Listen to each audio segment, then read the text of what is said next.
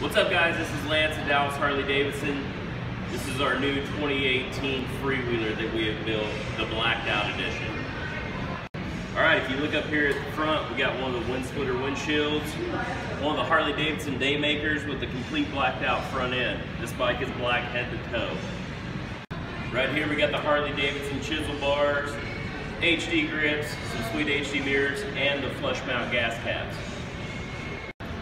When you're looking at that ass, you got Harley Davidson LED tail lights with that Screaming Eagle exhaust. All right guys, that's our 2018 freewheeler, blacked out edition. Come check this thing out, man. It's definitely worth a look.